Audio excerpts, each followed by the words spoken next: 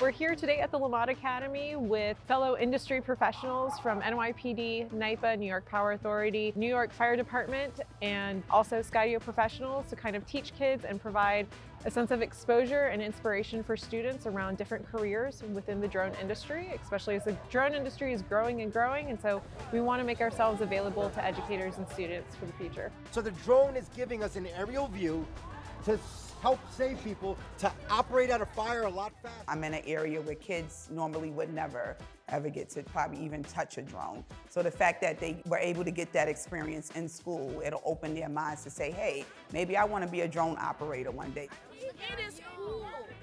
Awesome. Good job. They think it's obviously a really cool thing to be able to fly this out in their school courtyard. But if you dig a little deeper, talking about what does it mean to be a mechanical engineer, a software developer, what does this look like out in law enforcement, what does this look like out in the utility industry, and, and even the military, when we talk about the X2, we brought all three of our drones here and talking about the differences between them, the design features and things like that. They've really been leaning in. One of the things about, you know, school, people, they, oh, you should be a doctor, you should be a nurse, and there's so many areas that they don't focus on and drones is one of them. And so if our scholars learn how to do that, they have an opportunity to have a great income and change the trajectory of their family's financial future.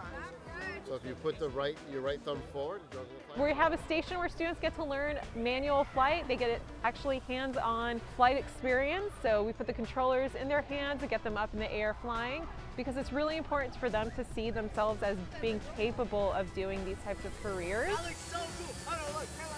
So our visual learners, our auditory learners, and especially our kinesthetic learners are enjoying this. Today they're able to experience different fields, what else is out there. But if they're not exposed to more, they won't know that there's more out there.